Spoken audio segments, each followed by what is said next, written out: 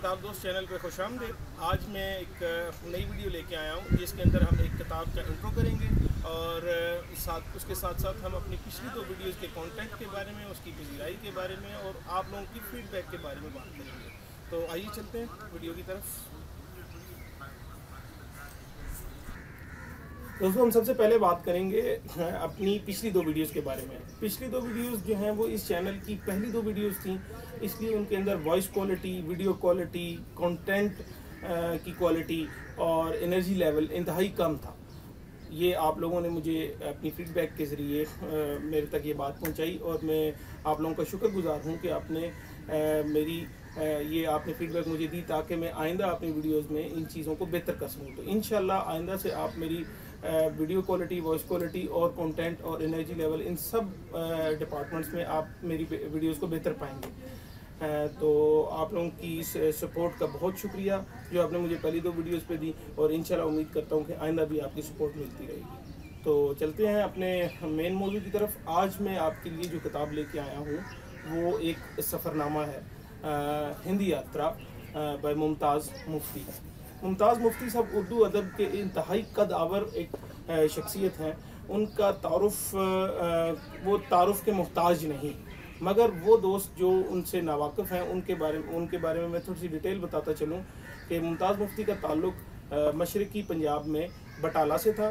وہ انہوں نے اپنی زندگی کا آدھا حصہ تقسیم ہند سے قبل ہند میں گزارا۔ جبکہ اپنی زندگی کا آخری آدھا حصہ انہوں نے پاکستان میں گزارا۔ تو ان کی ان کی تین کتابیں انہوں نے بہت کتابیں لکھی ہیں، لیکن ان کی تین کتابیں جو ہیں، وہ انتہائی اہمیت کی حامل ہیں۔ انہوں نے تین کتابیں، علی پور کا ایلی الکھ نگری اور تلاش، ان تین کتابوں میں انہوں نے اپنی زندگی کا احاطہ کر دی ہے۔ ان میں علی پور کا ایلی، ان کی پاکستان بننے سے قبل جو زندگی تھی، اس پر مشتمل ہے۔ الکھ نگری پاکستان بننے کے بعد کی زندگی پر مشتمل ہے۔ اور تلاش جو ہے وہ ان دونوں کتابوں کے جو کتابی سلسلہ ہے، اس کے اختتامیہ کے طور پہ اس کو تصور کیا جا سکتا ہے۔ تو ممتاز مفتی پہ انشاءاللہ مزید ڈیٹیل کسی ویڈیو میں ڈسکس کریں گے۔ تو ابھی ان کی اس سفر نامے کی بات کرتے ہیں۔ یہ سفر نامہ انہوں نے حضرت امیر خسرو صاحب کی زیارت کے حوالے سے لکھا ہے، جس کے جس کے سلسلے میں وہ پاکستان سے ہند انہوں نے سفر کیا۔ اب یہ ظاہری سفر کے ساتھ ساتھ ایک انہوں نے اس کے مساوی ایک سفر کیا، جس کے اندر انہوں نے پرانے ہند اور آج کے ہند کا موازنہ کیا، پھر انہوں نے پاکستان اور ہند کے درمیان موازنہ کیا اور انہوں نے مختلف زاویے سے انہوں نے ان آج کے مسائل کو ڈسکس کیا۔ تو اگر اس کو ہم سم اپ کریں تو یہ ہے کہ یہ کتاب دو مساوی سفروں پر مشتمل ہے۔ ایک سفر ظاہری ہے جس میں انہوں نے لاہور سے، داتا دربار سے سفر کیا، دلی تک کا، اور دوسرا سفر جو ہے وہ دہائیوں پہ مشتمل ہے جو انہوں نے اپنی تمام زندگی میں یا پاک و ہند کی تاریخ کا احاطہ کیا جس کے اندر۔